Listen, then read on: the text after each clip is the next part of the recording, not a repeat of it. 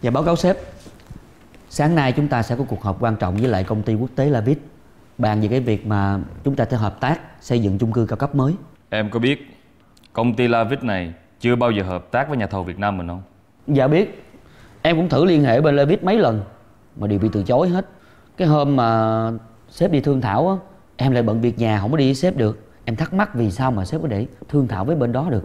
Làm việc với đối tác mà có yêu cầu cao thì chúng ta phải cho họ thấy được tầm nhìn định hướng về lâu về dài về phía của mình. Dạ Và đặc biệt là mình phải nắm bắt được tâm lý của đối tác mình như thế nào. Dạ Không phải ai cũng làm được những điều mà không tầm thường như anh đâu. Dạ thì ra là vậy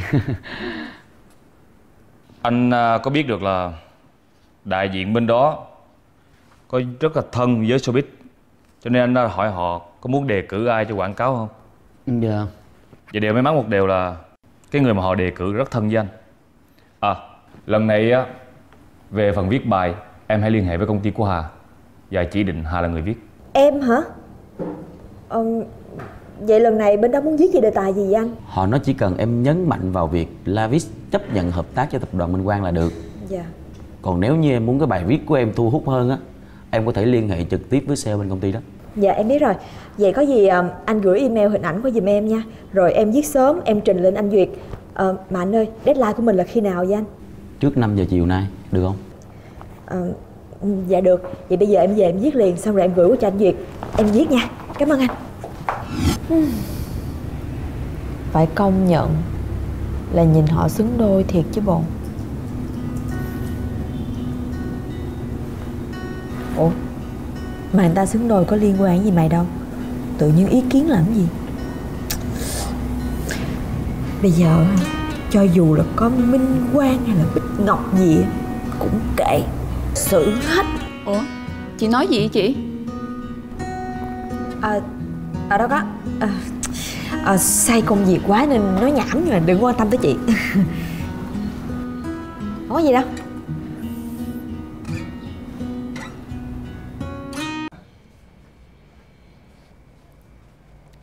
Ken. À chú Quang Chú ngồi đi À, được rồi. Sao anh lại tới đây vậy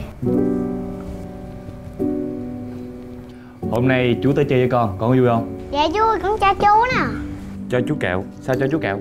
Dạ hôm nay á Ở lớp con kể chuyện giỏi cho nên được con thưởng kẹo Bây giờ con thưởng lại cho chú Vậy đây là món quà đặc biệt của Ken tặng cho chú.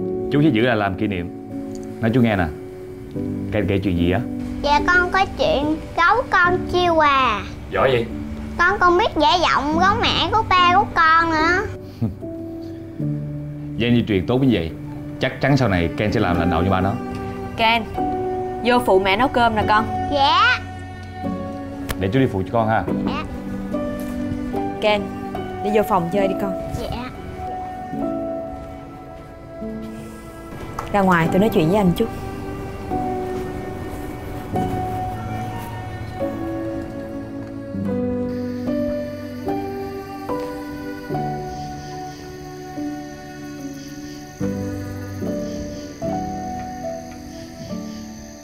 Ủa sao? Kêu tôi ra đây nói chi? Tôi không nói. Sao sau này không nói trong đó luôn? Hết hôm nay Anh đừng đến đây nữa. Sao? Cô hỏi ý kiến Ken chưa? Tôi thấy Ken rất thích chơi bà ruột. Mà cũng đúng. Tình cảm máu mủ mà. Tôi đang nói chuyện với anh rất nghiêm túc đó. Tôi nói rõ ràng rồi mà. Nhưng mà tôi với anh chưa đi đến sự thống nhất cuối cùng Ý cô là sao? Từ đó đến giờ khi mà anh tới lui ở đây á Thăm nom bé Ken Tôi vẫn không thấy gì nghiêm trọng cho đến khi là tôi cảm thấy anh can thiệp quá sâu vào chuyện của mẹ con tôi. Can thiệp? Tôi với cô làm gì có tương tác mà gọi là can thiệp. Chứ không phải là anh cho trợ lý tới chỉ định bên tôi viết bài hay gì. Ờ Thì ra là chuyện đó. Đúng Tôi có nhắn trợ lý á Đặt bài bên cô viết thêm Thì sao? Bên tôi chỉ là một tờ báo nhỏ lẻ thôi. Cái chuyện mà bên anh đặt viết bài cho Minh Quang như vậy Thì có lợi gì cho bên anh đâu. Có cần phải hỏi vịt trẹt cái gì không? Được nếu cô muốn biết tôi nói luôn. Đúng. Tôi đang giúp cô kiếm thêm thu nhập. Thì sao? Anh có biết như vậy người ta gọi là thương hại không? Thương hại? Tôi không quan tâm. Tôi chỉ quan tâm là tôi Hoặc là người nuôi con tôi Phải có điều kiện kinh tế. Vậy thôi. Tại sao phải cố chấp? Mệt quá. Tôi cảm thấy tôi nếu mà tôi nói chuyện với anh á Cứ nói tới nói lui vấn đề này Tôi cũng không nói chuyện lại anh đâu Nhưng mà tốt nhất bây giờ tôi muốn là anh không được đến thăm bé Ken nữa. Mà cho dù có thì thăm ở bên ngoài Và một tuần cũng chỉ được một hai lần thôi.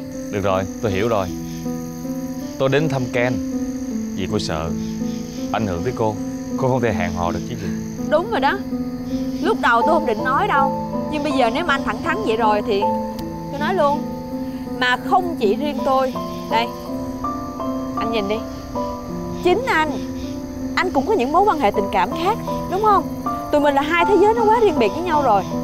Nếu mà anh cứ tới lui thăm nom vậy á Mắc công rồi Báo chí rồi, Nói chung là phiền phức lắm. Tôi chỉ là một người bình thường thôi, Tôi không muốn cuốn vào những cái chuyện này đâu. Tại sao phải sợ? Nếu như tụi mình không làm gì sai, Tại sao phải sợ những bài báo lá cải đó? Nếu họ đang thông tin sai, Tôi sẵn sàng kiện. Đó cũng chính là cái điểm khác biệt rất lớn giữa tôi và anh. Anh nói đúng Con nó mang một nửa dòng máu của anh Nhưng tôi là người sinh nó ra và chăm sóc cho nó lớn lên. Mọi thứ đã rất tốt trước khi anh đến. Nếu mà sau này con nó đủ lớn, nó đủ nhận thức Mà nếu nó cảm thấy là nó muốn sống với ba Tôi sẽ hoàn toàn tôn trọng nó. Nhưng mà bây giờ tôi hy vọng là anh giúp cho con có được cuộc sống vui vẻ bình thường như tất cả những đứa con nít khác Được không? Cô đã nói vậy rồi. Tôi chỉ muốn cô biết một điều.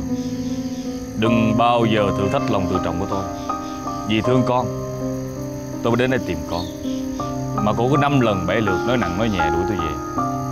Nếu như cô muốn, Ok, Tôi sẵn sàng xếp theo lịch. Chừng nào thấy thuận tiện, tôi sẽ báo. Được chưa?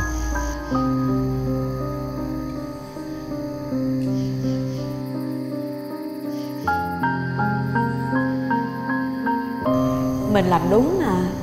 Không cần phải cảm thấy áy náy đâu. Vì phía sau cơn mưa cầu vòng sẽ tới. Ngày tháng trôi đi nhanh, muộn phiền ta sẽ rồi vơi.